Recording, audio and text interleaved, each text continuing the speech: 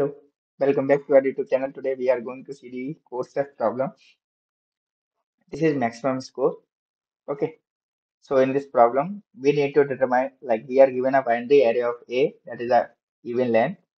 So initially your score is zero.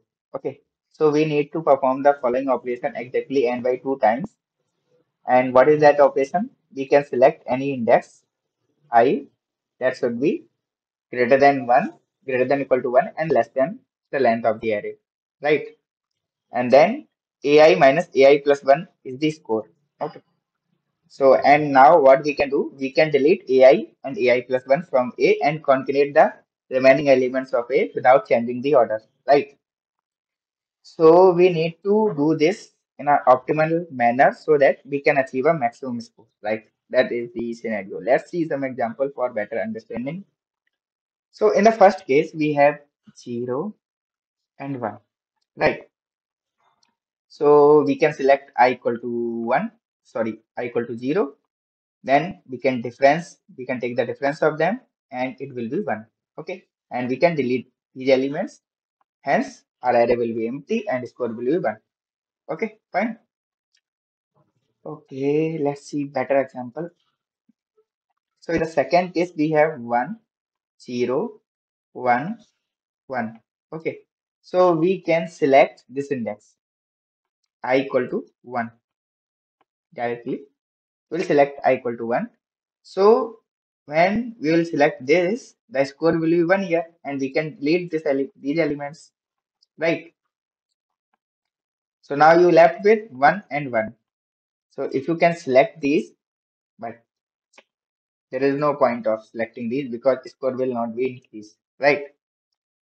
In similarly this case, so if you can select this pair, this pair, this pair, but your score will not increase. So there is no point of selection, right?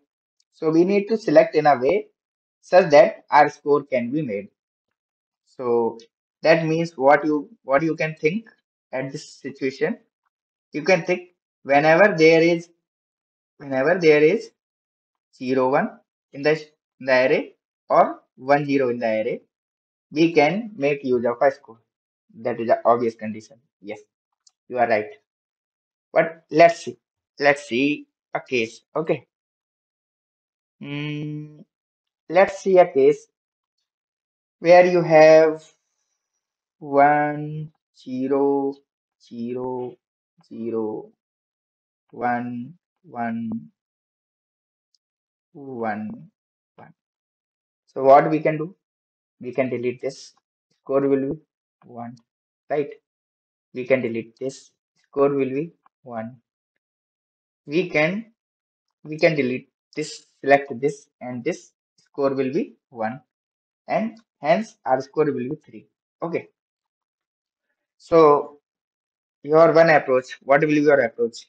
You can you can try to find two elements that are adjacent, right?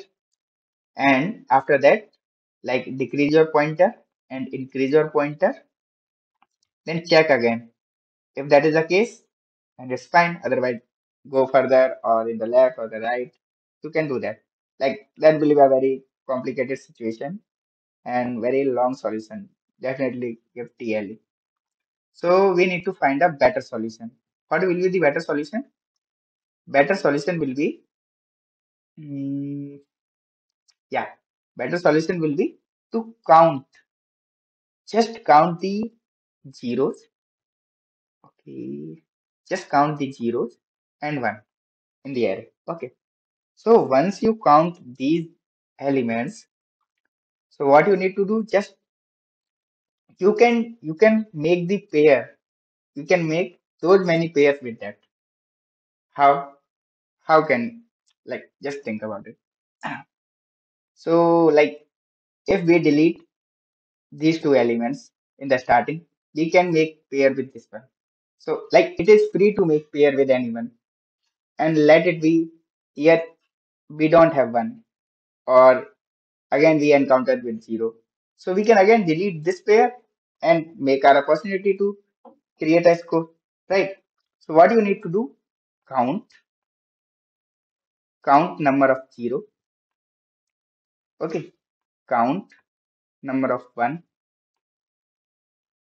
Okay, just count number of zeros, number of ones, and take the minimum.